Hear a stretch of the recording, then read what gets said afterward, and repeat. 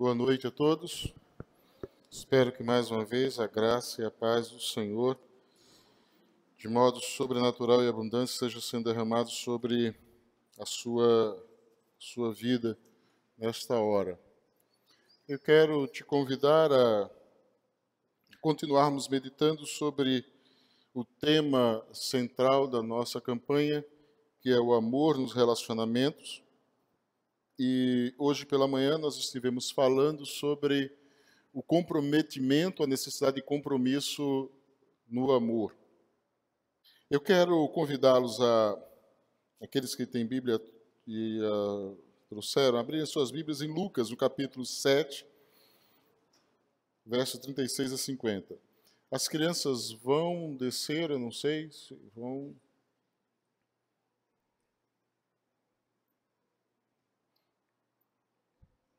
Não vão? Tem gente chorando por isso. Hein? Vou chamar as crianças aqui à frente para orar, depois vocês decidem o que fazem com elas, tá?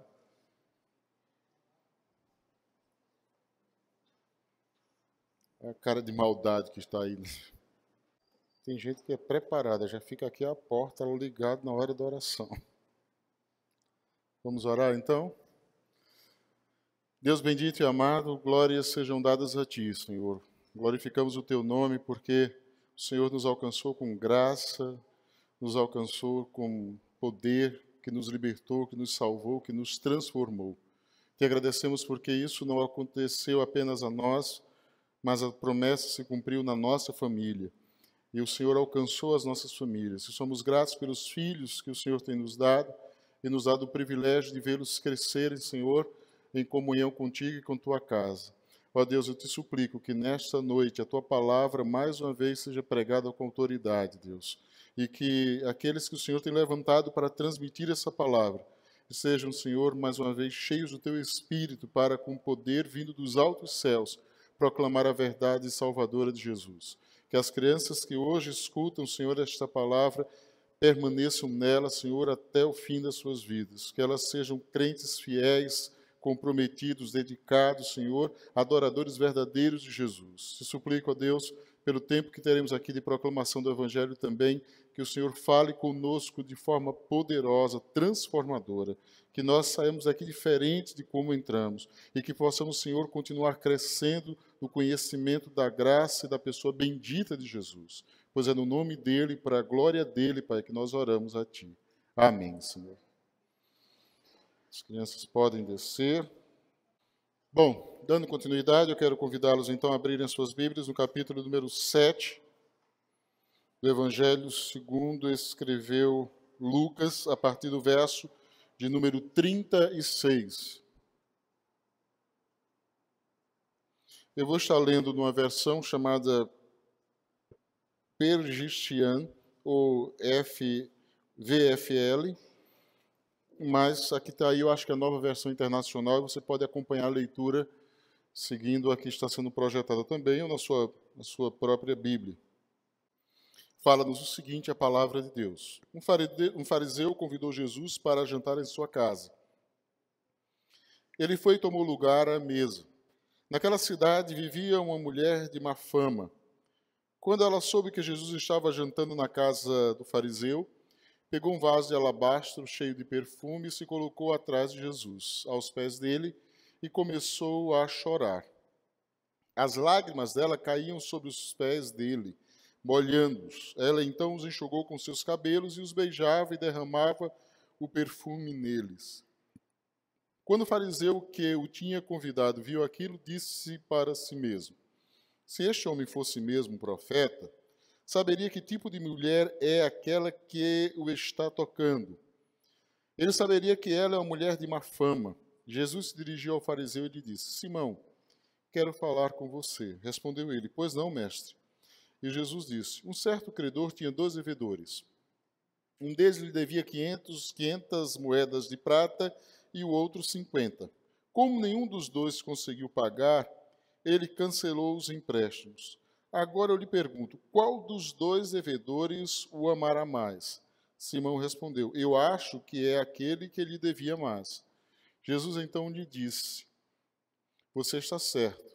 E virando-se para a mulher, disse a Simão: Você está vendo esta mulher?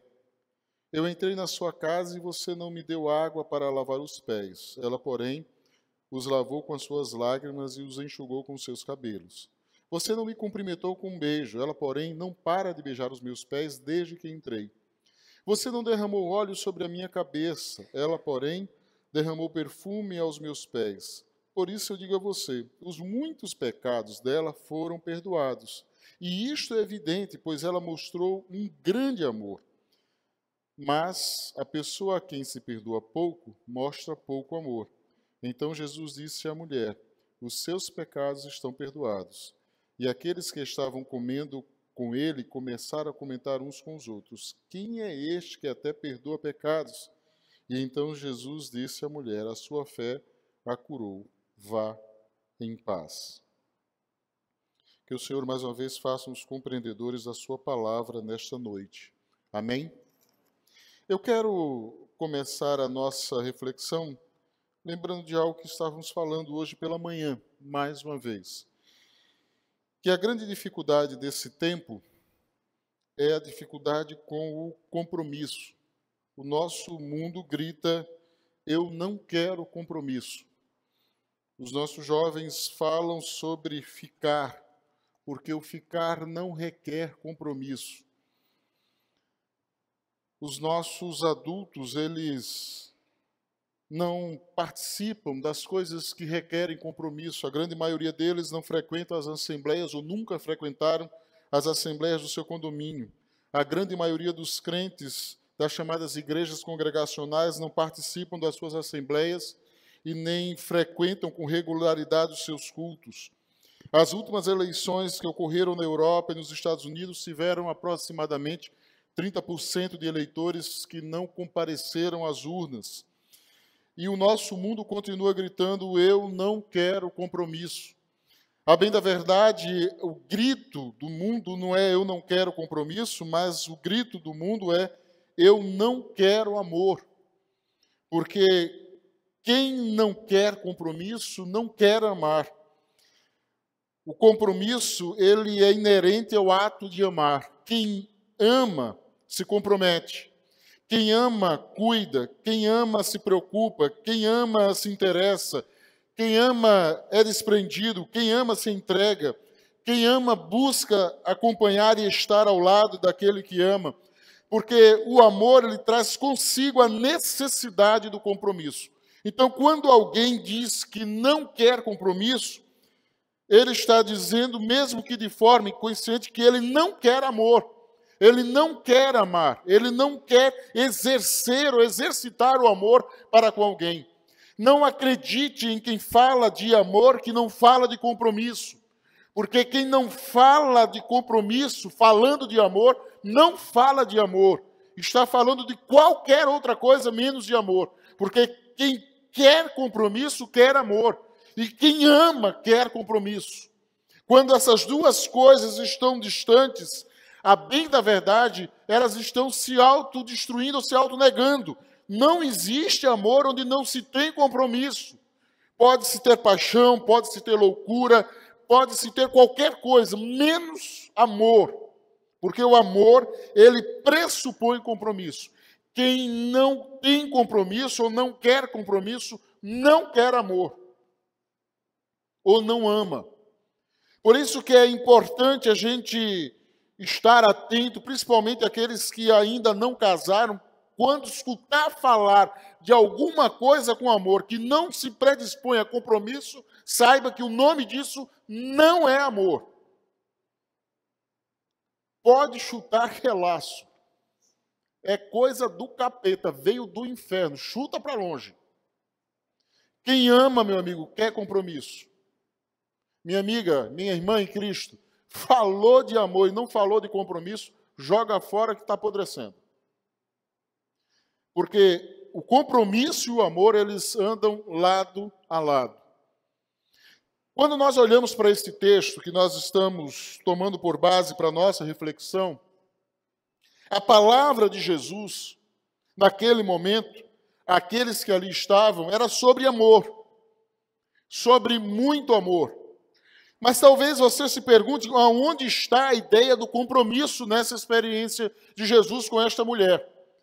Certo está que houve uma atitude de amor. Ela entrou no lugar para o qual não foi convidada, numa casa que ela sabia que ia ser rejeitada, porque aquele lugar onde ela entrou era a casa de um fariseu, e ela era uma mulher pecadora, e sabia-se claramente, todas as pessoas sabiam, que aquele tipo de gente ou seja, as mulheres pecadoras e adúlteras e prostitutas, elas não eram aceitas em casas de fariseus, então ela não poderia ter entrado naquele lugar, ela entra naquele lugar como que uma intrusa, como que alguém que estava ali com a, a usufruir de uma festa para a qual ela não tinha sido convidada, ela entrou naquele lugar, ela foi até Jesus, se ajoelhou aos pés dele, e era possível fazer isso porque, diferente da nossa concepção de jantar e de comida, naquele tempo as pessoas não sentavam à mesa, numa cadeira, elas tinham um lugar onde se reuniam, normalmente era tipo uma grande, um grande tapete, as pessoas colocavam a comida ali, elas sentavam de lado, as pernas para trás, se apoiavam sobre um braço e deixavam o outro para pegar a comida e comer. Então, por isso que ela se ajoelhou aos pés de Jesus e chorava sobre eles. E naquele momento que aquela mulher fez tudo isso, ela tomou uma decisão de compromisso com Jesus. Porque ela fez isso mostrando algumas coisas. Em primeiro lugar, aquilo que era o seu comprometimento com Jesus. Ela fez isso de forma pública. Ela não se escondeu atrás de alguma coisa, ela não foi de noite como Nicodemos procurar Jesus, ela foi no meio de uma festa que certamente estava cheia de gente, e gente que não queria bem a ela, que jamais gostaria de tê-la presente naquele lugar. Ela foi àquela festa, entrou naquele lugar, e a Bíblia diz que ela se ajoelhou aos pés de Jesus e chorava. Era alguma coisa que incomodava todo mundo. Não dá para você ficar num lugar de festa, um lugar que deveria ser de alegria, com alguém chorando e não sentir que aquela presença está incomodando. Pois aquela mulher estava naquela festa ali chorando. Era um lugar de alegria, era um lugar que as pessoas gostariam de se divertir, de conversar, de falar de coisas que fossem mais amenas e não de lágrimas, de sofrimento. Aquele não era um lugar para isso, mas aquela mulher chorava, ou seja, diante de todo mundo, ela assumiu um compromisso com Jesus. Ela mostrou para todas as pessoas que ali estavam que ela seguia alguém, ela era seguidora de Jesus Cristo porque ela estava ali mostrando: olha, eu entreguei a minha vida a Jesus. Uma outra coisa que demonstrou esse compromisso de forma clara foi a atitude que ela tomou quando derramou aquele vaso de alabastro aos pés de Jesus. Nos pés de Jesus. Quando ela derramou aquele vaso de perfume, ela estava tomando uma posição de deixar para trás uma vida e assumir agora uma outra vida. Ela estava tomando a decisão de dizer às pessoas: olha, a partir de agora eu não vivo mais a prostituição. A partir de agora eu vivo tão somente para Jesus. Ela estava assumindo um compromisso de vida. Ela estava dizendo que aquele amor que ela sentia por Jesus tinha se formado, tinha se transformado em atitudes e ações de alguém que assumia um compromisso com alguém, que não tinha mais volta que ela não poderia mais retornar à prostituição, que ela não poderia mais voltar atrás naquilo que era a sua vida, que a partir de agora ela só tinha um destino, uma direção, e esta direção era seguir a Jesus. E de forma pública, notória, para o conhecimento de todos, a partir de agora ela assumia um compromisso com Cristo. Uma outra questão que se demonstra claramente quando se fala de compromisso é que compromisso ele nunca é uma coisa secreta, oculta. Compromisso nunca é algo que você vai colocar debaixo do tapete. Você não pode assumir um compromisso de amor com alguém e não querer que ninguém saiba disso. Olha, eu não quero que ninguém tenha conhecimento disso. Olha, eu vou casar, mas é algo secreto. Olha, eu quero ter compromisso com você, eu quero me relacionar com você, mas eu não quero que ninguém saiba. Esses dias mesmo eu me deparei com o irmão dizendo que estava namorando alguém já há alguns anos e que pedia segredo. Eu não quero que ninguém saiba que nós. Ela pediu, pastor, para não falar, já estamos há alguns anos namorando, mas eu não quero. Ela disse que não quer que ninguém saiba. Parece muito estranho para mim alguém que diz me amar e não querer que ninguém saiba que ela me ama. Eu acho muito estranho alguém amar alguém e querer guardar segredo. Coisas ruins é bom guardar segredo. A gente esconde, abafa e tal. Mas amor, amor a gente quer que todo mundo saiba. Se nós amamos alguém, nós queremos propagar essa verdade, nós não queremos esconder isso em lugar nenhum. Eu tenho um relacionamento com alguém que eu não quero que as pessoas fiquem sabendo. Esse texto mostra de forma clara que quem tem compromisso de amor com Deus, mostra isso de forma clara e objetiva, mostra isso de maneira inequívoca. Não há porquê e não tem como se esconder essa verdade. Quem vive um relacionamento com Jesus e um compromisso com Ele de amor, jamais vai esconder isso.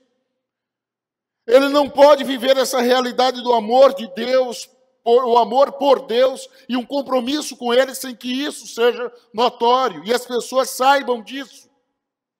É necessário que nós tenhamos consciência de que quando nós assumimos um compromisso com Deus, e esse compromisso é um compromisso de amor, nós precisamos dizer isso a todos aqueles com os quais nós temos a oportunidade de conviver.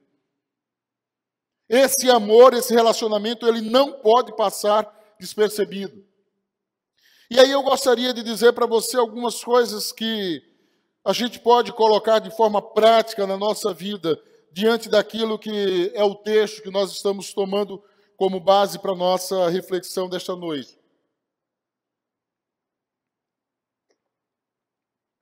Em primeiro lugar, a nossa relação de amor e compromisso com Jesus vai levar-nos a tomar uma posição de fé. Relacionamento de amor e compromisso com Jesus é um ato de fé. Não há como você seguir a Jesus sem crer nele. E eu quero dizer para você que essa fé, ela não pode ser uma fé alicerçada nas questões que você muitas vezes coloca para entrar em alguma coisa que você quer fazer como desprendimento ou como investimento para a vida. Esse relacionamento é alguma coisa que não lhe dá perspectiva de futuro. Olha, eu vou seguir a Jesus, mas eu sei aquilo que vai acontecer. Eu já sei tudo quanto vai ocorrer. Não há possibilidade de seguir a Jesus achando que você vai ter um mapa seguro, concreto dos próximos passos da sua vida. Não existe isso. Quando Jesus chama Abraão, diz a ele: Olha, sai do meio da tua parentela, da terra, para a terra que eu haverei de te mostrar. Não existe uma ideia de que, olha, eu vou dizer para você todas as coisas que vão acontecer a partir de agora.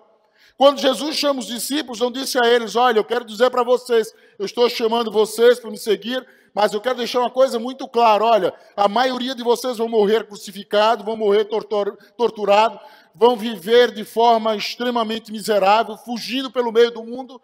Não foi esse o convite de Jesus. Simplesmente disse: segue-me. O convite de Jesus não nos dá a possibilidade de garantir para a gente aquilo que vai acontecer.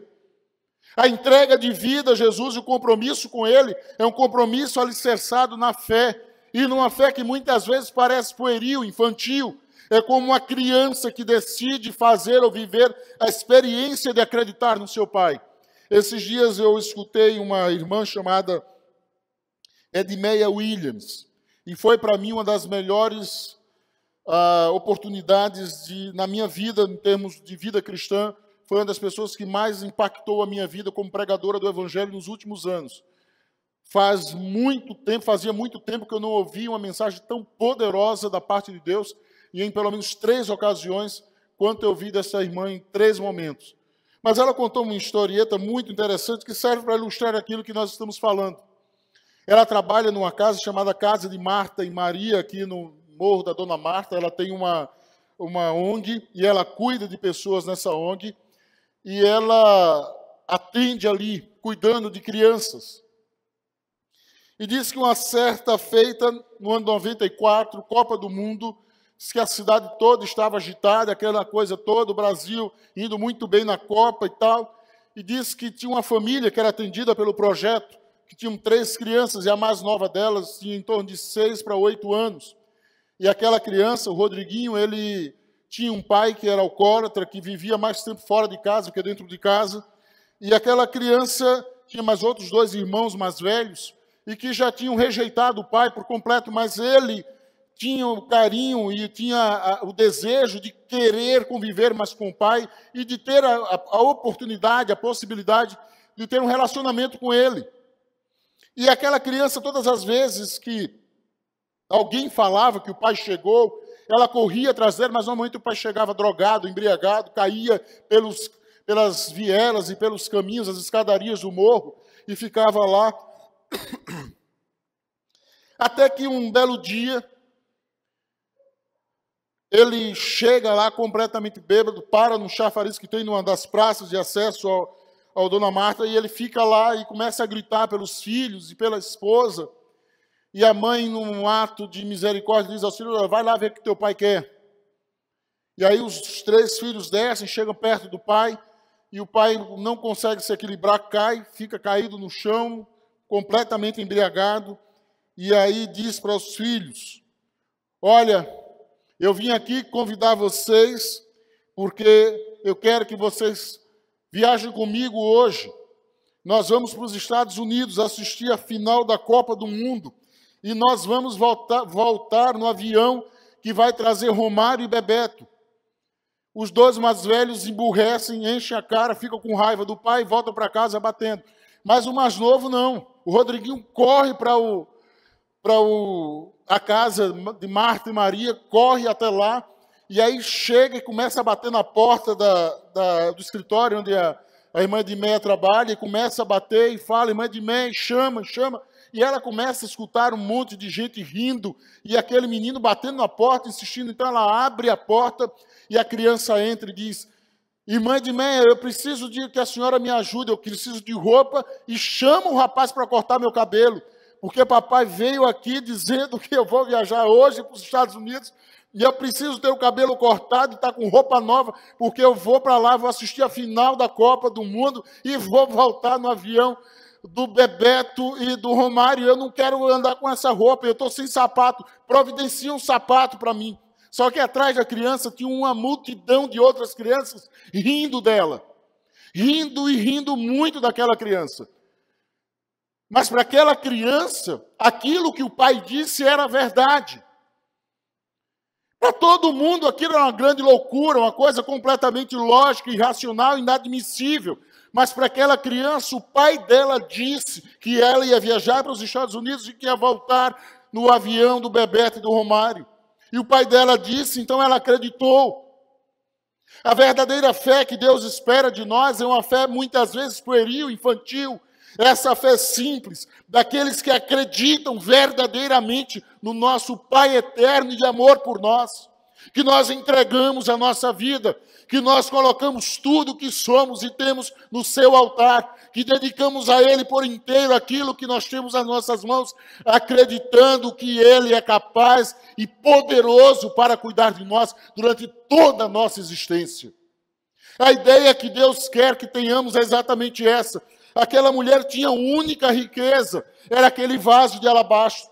Ele custava, segundo outra versão no capítulo de Mateus, na citação de Mateus, em torno de 300 denários, o salário de um ano de um funcionário braçal. Ela tinha aquilo nas mãos, aquilo era a sua única riqueza, aquilo era o seu único bem, aquilo era tudo que ela possuía, e ela pegou tudo o que tinha e derramou aos pés de Jesus.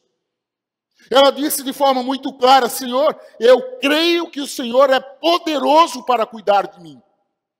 Eu não preciso mais desse unguento, eu não preciso desse perfume, eu não preciso da prostituição, eu preciso de uma coisa só: eu preciso do Senhor. Essa é a visão daqueles que decidem seguir a Jesus. É só de Jesus que nós precisamos. É tão somente dele que nós necessitamos. Se nós acreditamos de fato que temos um compromisso de amor, eu quero dizer para você que esse compromisso de amor com Jesus, ele é um compromisso que a Bíblia diz que esse amor ele arde em ciúmes por nós. Se existe alguém que não admite compartilharmos com ninguém, esse é Deus. Deus ele não admite que a sua vida seja uma vida dividida entre ele e qualquer outra coisa.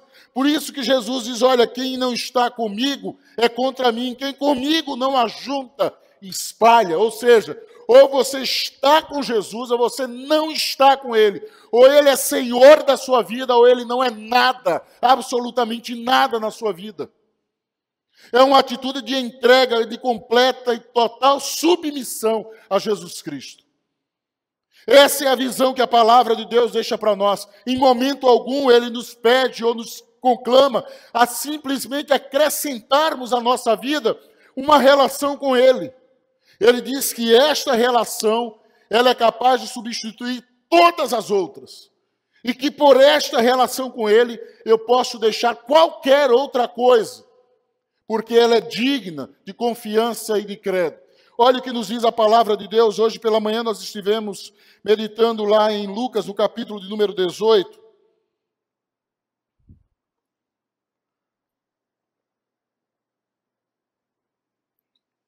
a partir do verso de número 18, narra ali o encontro de um jovem rico com Jesus. E aí ele chega diante de Jesus, faz elogios, diz que ele é bom. Jesus retruca dizendo: Bom somente Deus. E aí Jesus pergunta para ele se ele sabia os mandamentos, cita para ele alguns, ele diz que conhecia isso desde a terra infância, e continua falando com ele. E aí até Jesus disse: Olha, falta você uma coisa. Vai, vende tudo que tens, dá aos pobres e terás um tesouro no céu. E depois, venha e siga-me. Ora, ele não poderia seguir Jesus com seus bens? A pergunta é: será que ele não teria condições de seguir Jesus com a sua riqueza acumulada, quem sabe, durante décadas, gerações? Mas a palavra de Jesus para aquele que queria segui-lo era: depois de desfazer daquilo que você coloca o seu coração, siga-me, porque eu não quero dividir a minha glória com ninguém. E aí continua. Aí ele vai para Pedro, e Pedro diz: Senhor, nós deixamos tudo e te seguimos. E aí Jesus diz para ele: Em verdade vos digo que ninguém que há que tenha deixado casa, ou mulher, ou irmãos, ou pais, ou filhos, por causa do reino de Deus, que não receba no presente muitas vezes mais e no mundo por vir a vida eterna. O texto está dizendo de maneira clara: olha, essa relação com Jesus, se alguma coisa for atrapalhar, deve ser trocada por esta relação, porque é um ato de entrega completa e total. Ele não quer ser dividido com ninguém, ele não admite ser dividido com ninguém. Por isso eu quero deixar claro para você: a primeira atitude daqueles que seguem a Jesus é uma atitude de fé. É uma atitude de quem acredita de fato de que aquele a quem se está entregando a vida é digno de confiança e que você vai viver a sua vida para segui-lo. Uma segunda coisa que esse texto nos mostra são as reações e aí é importante a atitude dessa mulher. E aí eu quero dizer para você o seguinte: revela-nos muito mais as nossas reações do que as nossas ações. As nossas reações mostram muito mais sobre nós do que as nossas reações. Ou melhor, voltando, as nossas reações mostram muito mais sobre nós do que as nossas ações. Porque as nossas ações, elas podem ser pensadas, elas podem ser estudadas, elas podem ser treinadas. A gente é treinado a apertar a mão. Não sei se você já viu o atendimento desses, desses restaurantes que a gente chama de fast food. Você chega em qualquer um deles, em qualquer lugar que você for, no Brasil ou fora, o atendimento é o mesmo. As palavras ditas são as mesmas. Por quê? Porque há treinamento para aquilo. As nossas ações, elas podem ser treinadas mas as nossas reações não. As nossas reações, elas revelam muito mais sobre nós do que as nossas ações. As nossas atitudes de reação diante de um fato, diante de uma situação, mostra muito mais sobre nós do que aquilo que a gente pode imaginar. E as reações diante da ação desta mulher são interessantes. Primeiro, a reação do fariseu, Simão. Ele olha para aquela mulher e diz: se Jesus soubesse de fato quem ela é, não, permiti, não permitiria que ela o tocasse. É a reação de alguém que julga e critica aqueles que estão fazendo alguma coisa. Existe a reação dos discípulos, que não é relatada em Lucas, mas é relatada em Mateus, e diz claramente, e chega Judas a dizer: Olha, deveria se vender esse perfume e recolher o dinheiro e dar aos pobres. Mais de 300 denários, ou seja, o salário de um ano. E aí o texto diz que a preocupação dele não era com os pobres, mas com o dinheiro, porque ele era ladrão e roubava aquilo que era lançado na bolsa para sustentar o ministério de Jesus. Ali havia reações, e essas reações demonstravam aquilo que eram as pessoas e o que elas tinham consigo. A reação dos discípulos, a reação do Simão, era a reação de alguém que olhava para uma situação e para um fato, e a partir daquilo ali demonstrava o que eles tinham de fato no coração. O fato, a atitude de Simão revelou que ele era preconceituoso, revelou que ele era soberbo, revelou que ele era cego quanto à sua realidade espiritual. A posição dos discípulos que ficaram admirados ou ficaram escandalizados por ter se derramado aquele perfume ali, era a visão de alguém que tinha preocupação muito mais com o dinheiro do que com as pessoas e com aqueles que ali estavam. Essa era a reação, e a reação demonstra as pessoas, ou revelam as pessoas. Quando você vê alguém dizendo, olha, essa reação foi uma reação inesperada, uma reação impensada, essa reação impensada é a reação da natureza, é aquilo que a pessoa faz naturalmente. É a atitude de alguém que consegue agir sem pensar, aquilo que você faz de forma tão natural que você não pensa. É essa atitude da natureza, aquilo que domina você que controla as suas ações. E aí, nesse momento, as reações demonstram aquilo que são as atitudes das pessoas. A reação de Jesus foi de acolhimento, foi de aceitação, foi de compreensão, foi de consciência daquilo que era a atitude daquela mulher, porque ele sabia a verdade do coração dela. A reação de Jesus não foi de julgamento, não foi de afastamento, não foi condenatória, mas foi de absolvição da consciência do perdão que havia no coração daquela, daquela mulher que estava ali diante dele. Nós muitas vezes temos reações que nos revelam mais daquilo que somos do que a gente imagina.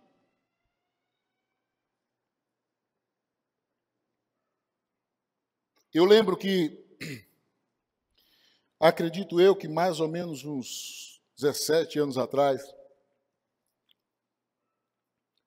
se converteu na nossa igreja uma senhora chamada Sônia e uma e a sua filha. E o nome era Larissa. E a Sônia, quando chegou à igreja, ela já estava com, com câncer. E estava muito, muito doente.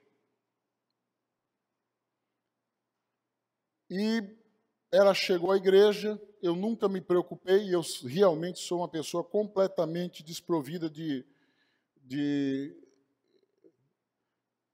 ver e perceber as coisas, de juízo assim imediato, eu tenho dificuldade com isso.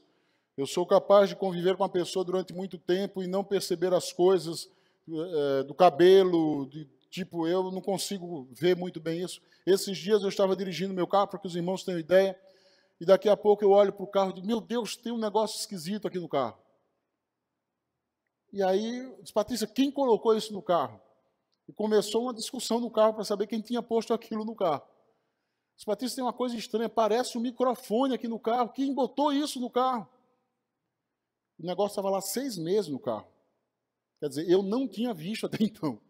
E é um negócio enorme, que é um microfone que fala no celular lá no Viva Voz. E estava lá no carro toda a vida ali, eu nunca tinha visto o terrível microfone que estava olhando para mim. Depois de seis meses eu descobri que ele existia. De tão perdido que eu sou. E essa senhora frequentava a igreja. Vinha aos cultos, ela e a, e a Larissa e tal. E eu não sabia que ela usava peruca. Eu, sinceramente, não tinha a menor ideia disso. E ela, por ter tratamento com câncer, tinha perdido o cabelo e ela usava peruca. Até que um dia ela veio à igreja sem peruca. Quando ela apareceu na minha frente, eu tomei um susto. E o susto foi tão grande que ela ficou completamente desconcertada e eu muito mais. E eu percebi claramente que ela ficou sem jeito diante do susto que eu tomei. Eu não podia imaginar nunca que ela não tivesse cabelo. Eu achava que aquela peruca era o cabelo natural dela. E já fazia alguns meses que ela frequentava a igreja e eu não tinha noção de que ela, com o tratamento da quimioterapia, tinha perdido os cabelos. Mas aquela reação foi tão forte que ela olhou para mim depois que terminou um evento que tinha aqui na igreja, alguma coisa, não lembro o que, acho que era aula de, de Libras. Ela veio conversar comigo e falou sobre isso, dizendo: Eu percebi que o senhor ficou assustado porque eu não tenho cabelo. E aí eu tive que me explicar para ela, dizendo: Olha, eu não sabia que, que você usava era peruca, eu não, eu não tinha percebido ainda. E ela realmente ficou triste com a minha atitude, com a minha reação, que era uma reação natural, alguma coisa que me surpreendeu. E essa reação marcou o coração daquela mulher. Eu lembro que passou-se algum tempo, ela deixou até de vir à igreja porque ela não conseguiu entender por que é que eu reagi daquele jeito. Eu tive que ir à casa dela, pedir perdão pelo que eu fiz, e ela voltou a frequentar a igreja. Depois de algum tempo, logo depois, acho que seis meses depois, ela veio a falecer. Mas ela ficou extremamente magoada por eu ter tomado aquela atitude, aquela reação diante daquilo que aconteceu. As nossas reações, elas revelam muito daquilo que nós temos dentro de nós. Talvez a gente não perceba, mas ela demonstra muito daquilo que é a nossa compreensão acerca da vida. E aí eu quero colocar isso dentro da visão de Jesus para com esta mulher. A compreensão daqueles que reagiram negativamente foi infinitamente maior do que daquele que agiu positivamente para com a sua atitude. Mas ela não perdeu aquilo que era o seu objetivo. A reação foi a pior possível. Você já imaginou todo mundo olhando de cara feia para você porque você estava chorando no lugar da festa? Todo mundo olhando de cara feia para você porque as pessoas sabiam que você vivia da prostituição e aquele vaso lá abaixo era um denunciante de que você vivia da prostituição. Todo mundo sabia que você era uma pecadora que vivia no meio daquela cidade e certamente, como uma mulher extremamente mal afamada, e você estava tocando em Jesus, que era o convidado especial daquela festa, quando as mulheres não tocavam nos homens. E aquilo tudo ali não impediu, aquela reação toda, não impediu aquela mulher de continuar ali ao lado de Jesus. Eu não sei quanto a você, mas a grande maioria das pessoas com as quais eu tenho convivido, quando tomo a decisão de viver um compromisso de amor com Jesus e um relacionamento definitivo com Ele, normalmente elas são atingidas por um relacionamento ou por reações as mais duras e as mais cruéis. Eu conheço pessoas que foram abandonadas pelos seus familiares, eu lembro de uma senhora que eu preguei o evangelho, morava aqui na rua Ibituruna, e eu lembro que ela tomou uma decisão, frequentou a nossa igreja por um tempo, depois veio a falecer, e quando eu cheguei à sua casa, as pessoas armaram fora da casa, era um apartamento e um andar onde todas as pessoas moravam ali, e as pessoas colocaram as coisas que tinham dela fora da casa, porque ela era judia e tinha dito que agora estava frequentando a igreja de crentes.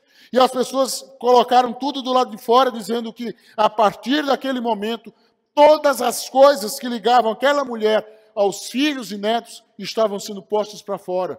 Não havia mais ligação entre ela e aquelas pessoas. Eu lembro de um homem que eu consigo dizer que foi a primeira pessoa que eu vi se recuperar de drogas. Hoje, pastor e já aposentado, eu lembro do Genival, que foi um homem que era bravo, extremamente rude, era militar e era alguém que tinha vivido de forma tão absurda a vida, por viver envolvido com drogas, que ele foi expulso do exército depois de ter batido no sargento que era quem comandava aquele pilotão que tinha na cidade. E ali ele bateu no, no, naquele sargento que, que era chamado líder daquele batalhão que tinha na cidade. E ele foi expulso do exército e foi preso. E ele ameaçava as pessoas e vivia ameaçando todo mundo. Um belo dia resolveram prendê-lo, ele estava num bordel e ele estava completamente drogado e resolveram uma, uma patrulha com alguns policiais foram lá para prendê-lo, porque ele estava causando a maior gazarra na cidade. E aí, quando chegaram lá para prendê-lo, no meio de uma vielazinha que dava, dava acesso ao bordel, ele disse: Vocês só vieram para me prender? Eram algumas pessoas, ele bateu em todos eles. Tão violento e bruto que era aquele homem. Um belo dia ele tinha um amigo que também vivia na bebida, que disse: Olha, eu estou indo à igreja.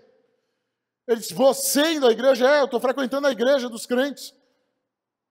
Que igreja? A igreja batista. Ah, então eu vou lá com você. Ele foi à igreja e naquela noite teve o culto, teve o apelo, aquele homem entregou a vida a Jesus.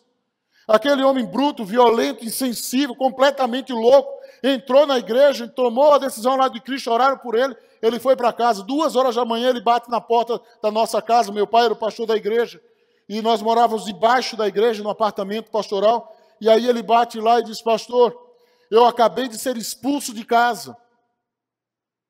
Mas como assim, meu filho? Eu fui para casa dizendo que eu agora era crente e meu pai disse que preferia o filho maconheiro do que o filho crente. E eu, para não matar ele, decidi sair de casa. Eu peguei as minhas coisas e saí de casa. Eu não tenho para onde ir.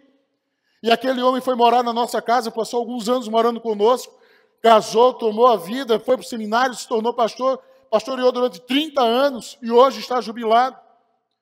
Mas alguém que, quando assumiu um compromisso de amor com Jesus, houve rejeição, a reação foi negativa. As pessoas disseram: Olha, não. Eu conheço pessoas que a vida toda elas viveram no meio de famílias onde as pessoas criticavam pelas suas atitudes, pelas suas ações, pelo seu mau comportamento. No dia que elas entregaram a vida a Jesus, que se colocaram diante de Jesus Cristo, as pessoas começaram a reagir contrário e dizendo: agora você virou um fanático, agora você virou um radical, agora você está seguindo a lei desses homens e está dando dinheiro para pastor. As reações são as piores possíveis. Mas aquela mulher, ela não desistiu. Ela não voltou atrás. Ela não abdicou daquilo que tinha sido a graça de Deus em prol da sua vida. Ela poderia ter se encurvado, ela poderia ter fugido, ela poderia ter se envergonhado, ela poderia ter olhado para aquilo tudo e dizer: ninguém aceita que eu mudei de vida, eu vou desistir. Mas ela continuou com Jesus. Ela segurou-se nele, não abriu mão, mesmo diante de toda a reação negativa que havia. Eu quero desafiar-nos a não abrirmos mão do nosso compromisso com Jesus a você não abrir mão da sua vida com Ele, a não desistir, mesmo que todo mundo diga: olha, você está sendo feito de palhaço, a sua atitude é uma atitude insana. As pessoas vão olhar para você e dizer: agora você vai dar dinheiro para a igreja, dinheiro para pastor, agora você vai fazer aquilo que os pastores mandam. Eu sei que muitas pessoas ainda passam por esse tipo de reação, mas eu quero dizer a você com toda clareza: se você entregou a sua vida a Jesus, se você de fato encontrou-se com Ele, não importa a reação das pessoas, você vai continuar aos pés dele, servindo a Ele, seguindo a Ele, vivendo com Ele todos os dias da sua vida, porque você vai olhar para aquela relação e para aquele compromisso de amor e dizer: tudo mais vale a pena ser deixado para se viver a vida com Jesus. Tudo mais pode ser deixado de lado depois que se encontra com Jesus. Não importa a reação das pessoas. Não adianta, aquilo que eles dizem não muda nada, Jesus continuará sendo a maior de todas as bênçãos que você pode ter. É impressionante quando muitas vezes nós estamos diante disso, dessa reação, e nós nos acovardamos, nós nos nós escamoteamos, saímos de fininho, não queremos constranger as pessoas, Nós muitas vezes recuamos, não queremos que as pessoas se constranjam com a minha fé e com a minha vida com Deus e com a minha posição diante de Jesus. Meu amigo, minha amiga, meu irmão e irmã em Cristo, eu queria dizer para você que não importa a reação, não importa o que os outros façam, é como aquela mulher do fluxo de sangue, não importa o que vai acontecer, ela poderia ser apedrejada, mas ela sabia que a única pessoa que poderia dar solução à sua vida era Jesus e por isso ela não desistiu e foi até ele. Essa mulher ela não abriu mão de todas as coisas que estavam acontecendo, independente, ela não abriu mão de estar com Jesus. As críticas eram muitas e nós muitas vezes vamos ser criticados, vamos ter reações negativas, vamos ser zombados mas nós não podemos abrir mão, porque a única coisa que importa é estar com a nossa vida completamente entregue, completamente devotada e rendida a Jesus. É a única coisa que importa. Querido, coloque-se por completo diante de Jesus Cristo. Eu sei que muitos vão criticar, muitos vão dizer: olha que coisa absurda, que coisa mais débil você está fazendo. Mas eu quero dizer para você que vale a pena continuar colocando tudo no altar do Senhor. Coloque a sua vida aí. Derrame-se por completo nas mãos dele. Entregue tudo o que você tem no altar do Senhor. Renda-se por completo diante dele e deixe ele guiar a sua vida. Não importa as coisas que os outros vão dizer, o que importa é aquilo que é a decisão de colocar-se diante de Jesus. As críticas vão surgir.